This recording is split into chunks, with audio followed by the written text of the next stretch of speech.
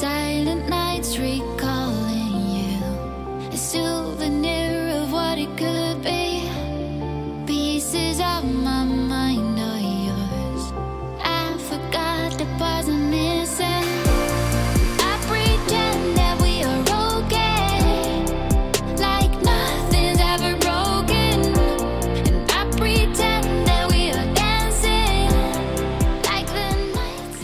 Hi und herzlich willkommen zurück zu einem neuen Video von mir.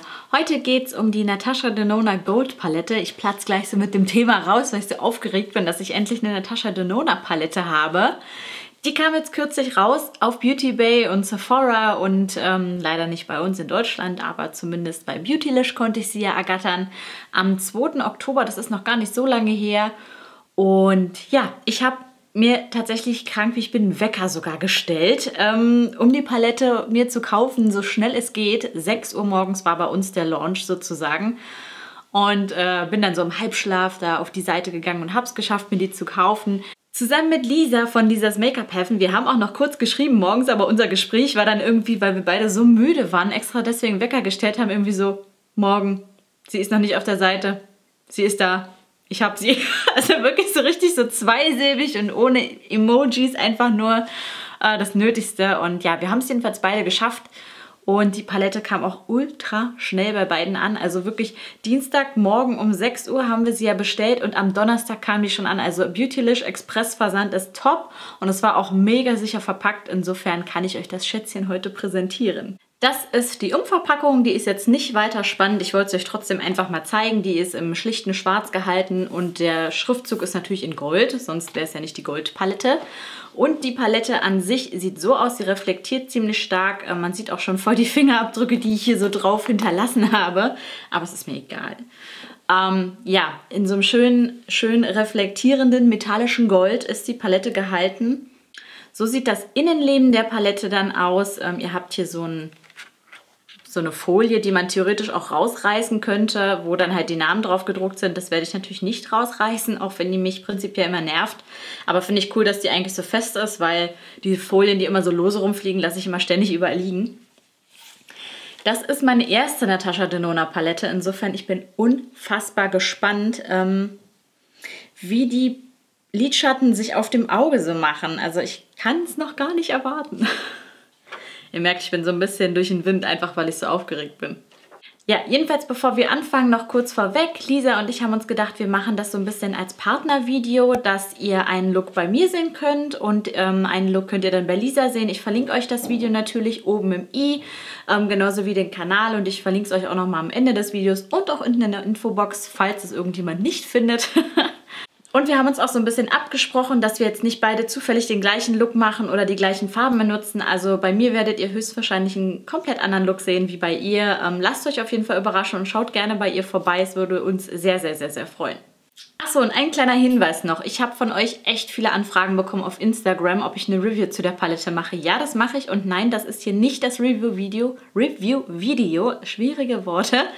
Das ist hier wirklich mehr eine First Impression. Also ich werde jetzt hier 4, 5, 6 Farben maximal benutzen wahrscheinlich. Einfach nur, weil ich ähm, euch so schnell wie möglich schon mal einen ersten Einblick geben wollte, weil auch so viele danach gefragt haben.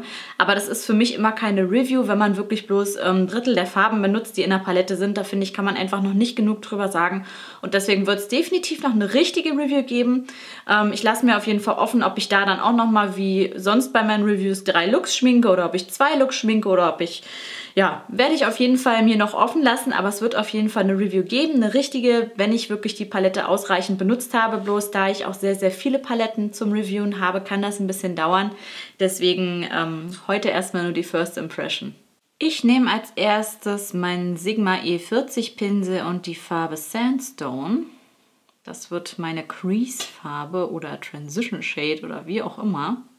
Ja, ich kann euch wie gesagt keine Erfahrungswerte geben zu der Palette im Vergleich jetzt mit anderen Natascha Denona Lidschatten, weil ich, wie gesagt, keine habe. Ich habe nur einmal bei der Lisa, als ich zu Besuch war, das ist aber letztes Jahr gewesen, glaube ich, ähm, ihre Palette benutzt. Sie hat ja eine von den großen, die Green, Brown Green, irgendwie sowas.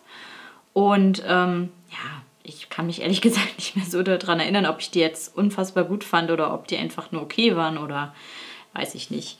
Ähm, ich weiß auch, dass Natascha Denona sehr viel mit ihrer Formulierung rum experimentiert. Deswegen ähm, sind viele immer unsicher, ob sie die Paletten kaufen können oder nicht. Also zumindest jetzt in letzter Zeit.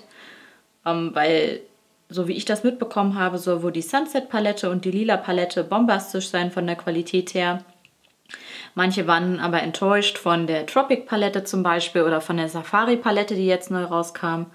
Ähm, insofern kann ich verstehen, dass man vielleicht ein bisschen verunsichert ist, ähm, so viel Geld für eine Lidschattenpalette in die Hand zu nehmen, ohne zu wissen, ist sie jetzt gut, ist sie jetzt nicht gut. Ich habe es jetzt einfach mal riskiert, weil mich die Farben dann doch angesprochen hatten. Die Palette war ja in meinem Anti-Haul ursprünglich gelandet. Ähm, da hatte ich aber auch schon gesagt, dass es Potenzial gibt, je nachdem wie die Swatches dann auch ausfallen, dass ich sie mir doch hole. Das ist jetzt tatsächlich passiert. Ja, also Transition Shade bin ich eigentlich mit zufrieden. Es gibt ein bisschen Kickback im Pan. Ich weiß nicht, ob ihr das sehen könnt, aber hier ist so ein bisschen Kickback davon, dass ich jetzt zweimal da, dreimal da reingegangen bin. Es ist ein bisschen mehr als üblich bei Paletten, aber es ist jetzt auch nichts Dramatisches. Jetzt kommt die Farbe Dijon, die ich mit dem Real Techniques 305 Pinsel auftrage aus dieser Brush Crush Collection. Die kommt jetzt auch mit dazu in die Crease.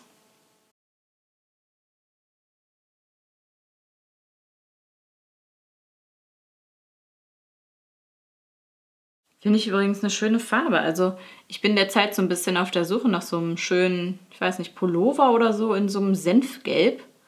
Aber tatsächlich, man findet zwar überall was, aber ich weiß nicht, ob ich zu wählerisch bin, aber die meisten Sachen ähm, überzeugen mich dann doch nicht so. Entweder ist es so billiges Material, so diese Synthetik-Pullover, wo man dann drin, weiß ich nicht, sich tot schwitzt, weil das Material halt nicht atmen kann. Also weil man dadurch nicht atmen kann oder weil... Ähm, oder man juckt sich tot, weil das so kratzt. Oder die sind halt einfach nicht schön genug. Ich weiß nicht. Ärgert mich total. Ich hätte so Lust auf so einen schönen Herbstpullover. Als nächstes kommt dann die Farbe Python. Das ist dieser dunkle blaue Ton. Den möchte ich jetzt hier am äußeren Augenwinkel platzieren. Und dafür nehme ich von Delium Tools meinen Crease Pinsel. Das ist die Nummer 781. Und auf den Fotos, die ich gesehen habe, sah Python total matt aus. Wenn ich den jetzt so vor mir sehe, ist der definitiv nicht komplett matt. Und gerade auch so ein bisschen zickig. Hm. Sondern der hat wie so ein Satin-Finish, würde ich sagen. Der sieht auf jeden Fall nicht komplett matt aus.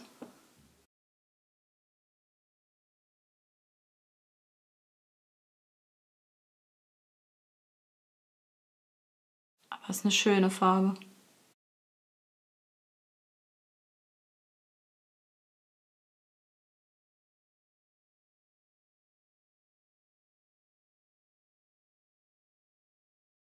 Ich ziehe den Ton auch schon so ein bisschen an den unteren Augenwinkel, aber nur ans äußere Ende. Jetzt nehme ich mir hier nochmal so einen sauberen Blendepinsel. Das ist auch von Delium Tools der 776 Blending. Und damit versuche ich das jetzt ein bisschen auszublenden, weil dieser Ton zwar echt schön ist, aber sich gerade so ein bisschen zickig verhält und ja, mir das noch nicht so gefällt hier mit dem Blau. Das muss sich noch ein bisschen besser mit dem Rest verbinden, finde ich.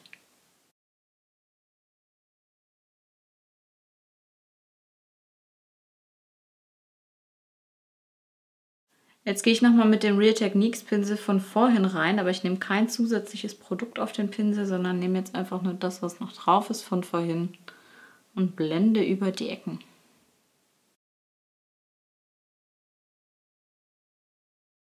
Jetzt kommt der MAC 242 Pinsel und dieser Duochrome Ton, das ist die Farbe Lime Chrome und ich bin mal sehr... Oh, oh, oh, oh, oh, Hallöchen. Das hätte ich jetzt ehrlich gesagt gar nicht so erwartet, dass man den...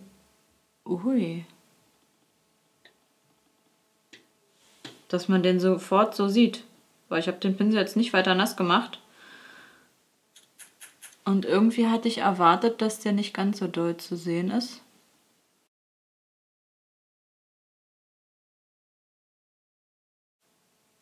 Ich habe ihn jetzt trotzdem noch mal ein bisschen nass gemacht, einfach weil ich sehen wollte, was passiert. Wow, also die Farbe ist echt richtig schön. Krass. Hätte ich nicht, ich hätte es echt nicht gedacht, dass sie gleich so pigmentiert ist beim Auftrag.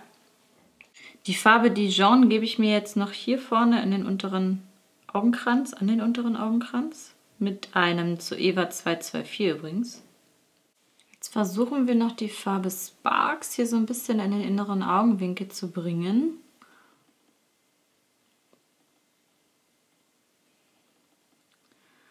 Aber ich glaube, das ist eher so eine Topperfarbe, wie ich das hier gerade sehe, weil so, da kommt mehr so Glitzer aufs Auge, als dass da jetzt irgendwie viel Farbe mitkommt. Also das sehe ich dann vielleicht eher so als Topper-Shade. Dann gibt es jetzt so schnell Eyeliner und Wimpern und dann sehen wir uns gleich nochmal. So ihr Lieben, da bin ich wieder zurück. Ich glaube gar nicht, was ich gerade für einen Struggle hatte, hier einen richtigen Lippenstift dafür zu finden, weil ich irgendwie nichts Passendes dazu hatte. Ähm, dann war der Lippenstift zu peachig, dann war der irgendwie zu rosa. Also so einen richtig, richtigen braunen Nude-Ton war gerade irgendwie ein bisschen schwer zu finden. Ich habe mich jetzt auf diesen hier geeinigt. Das ist übrigens Sunday Fun Day von Too Faced mit dem Fenty Gloss Bomb over the top sozusagen, also einfach obendrauf, dem originalen Gloss Bomb. Und ja, ich hoffe, wir können darüber hinwegsehen, falls äh, ihr denkt, das passt nicht. Ja, das ist jetzt jedenfalls mein fertiger Look mit der Palette. Ja, meine Gedanken. Also, ich habe ja jetzt nicht jede Farbe dieser Palette benutzt. Ich habe jetzt 1, 2, 3, 4, 5 Farben benutzt. Insofern kann ich natürlich jetzt über den Rest noch nichts sagen. Wie gesagt, es wird noch eine ausführliche Review dazu geben, auf jeden Fall. Sie wird kommen, wann kann ich noch nicht sagen, aber ich versuche sie mal im Laufe des Monats fertig zu machen. Was mir aufgefallen ist, auf jeden Fall, die Farben haben im Pen ein bisschen mehr Kickback als manche andere Paletten. Also wie gesagt, das ist jetzt nichts Weltbewegendes. Also es ist nicht so krass wie dieses Drama damals mit der Subculture Palette, bei weitem nicht. Sie haben auf jeden Fall ein bisschen mehr. Das ist mir bei diesen beiden matten Tönen aufgefallen. Dieser weiße Ton hier in der Mitte, das ist für mich mehr ein Topperton, also den alleine auf dem Lid aufgetragen. Dann sieht man halt nur so Glitzerkrümel, würde ich jetzt mal sagen. Insofern, den werde ich mal irgendwie als Topper benutzen, aber so als alleinige Farbe ist das ein bisschen schwierig. Der blaue Ton, das ist die Farbe Python, das ist für mich kein matter Ton, das ist so ein bisschen ganz leichtes Satin-Finish und ich fand den ein bisschen schwierig. Der war ein ganz kleines bisschen zickig im Auftrag. Man hat aber, wenn man ähm, länger gearbeitet hat, damit es schon noch irgendwie hingekriegt. Also ich bin jetzt mit dem Endergebnis eigentlich ganz zufrieden. Er ist nicht fleckig geworden und er hat sich auch nicht wegverblendet oder da sind jetzt auch keine Löcher entstanden, wie es ja manchmal, wenn man wirklich einen schlechten Lidschatten hat, irgendwie ähm, passieren kann. Insofern, ich bin mit ihm zufrieden. Das ist halt bloß einfach kein Lidschatten, den man jetzt aufträgt, zweimal blendet und zack hat man einfach mega den krassen Look, sondern da muss man wirklich ein bisschen Zeit investieren, um zu einem guten Ergebnis zu kommen. Mega, mega, mega begeistert hat mich der Duochrome-Ton da ganz oben in der Ecke. Ähm, den habe ich ja auf dem gesamten Lid drauf. Das ist A, eine mega schöne Farbe und B hat sich der auch schon trocken sehr schön auftragen lassen, fand ich. Also der hat mich echt begeistert. Habe ich ehrlich gesagt gar nicht so erwartet einfach, äh, dass der so schön ist schon beim ersten Auftrag. Ich habe ihn natürlich, wie gesagt, angefeuchtet, einfach weil ich das Ergebnis noch intensivieren wollte. Bin jetzt auch noch, noch zufriedener damit. Aber so vom ersten Auftrag her fand ich den schon ganz schön. Also im Großen und Ganzen möchte ich zu dieser Palette sagen, ich finde sie gut, aber es ist jetzt noch nicht so, dass ich sage, mega. Also das wird sich dann noch zeigen mit den anderen Farben, die ich so benutze. Bisher bin ich schon mal, wie gesagt, sehr zufrieden. Aber die anderen Farben sind halt auch noch sehr wichtig. Also es wird sich jetzt noch zeigen, ob ich wirklich dann bei der Review auch sagen kann, die Palette ist 130 Euro wert. Ähm, so viel habe ich nämlich umgerechnet in etwa bezahlt. Also ich glaube, abgebucht von meinem Konto wurden dann so um die 134 Euro circa, weil eben ja auch noch Steuern dazukommen. Ja, Ansonsten hoffe ich erstmal, dass euch der Look gefallen hat. Wie gesagt, schaut unbedingt bei Lisa vorbei. Sie hat auch einen sehr, sehr schönen Look für euch, ähm, den ihr euch angucken könnt. Was ganz anderes, als ich benutzt habe an Farben. Insofern sind das schon mal zwei Looks für euch mit dieser Palette. Äh, ich denke mal, das wird viele von euch interessieren. Und ansonsten hoffe ich, dass euch das Video gefallen hat. Ich hoffe, ihr schaut beim nächsten Mal wieder mit vorbei. Und ich hoffe, ihr guckt euch auch die Review an, auch wenn ich vielleicht ein bisschen länger dafür brauche. Dann bis zum nächsten Video. Ich wünsche euch einen schönen Abend, schönen Tag oder schönen guten Morgen, je nachdem, wann ihr das Video gerade schaut. Bis dahin, macht's gut!